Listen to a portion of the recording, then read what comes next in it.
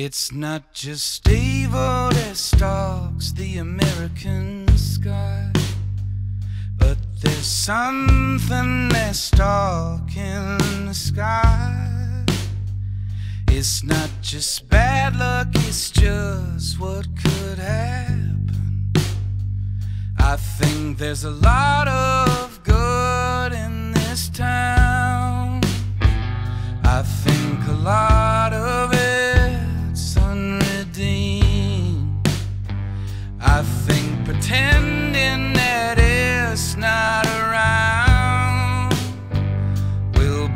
the shadowy talons down.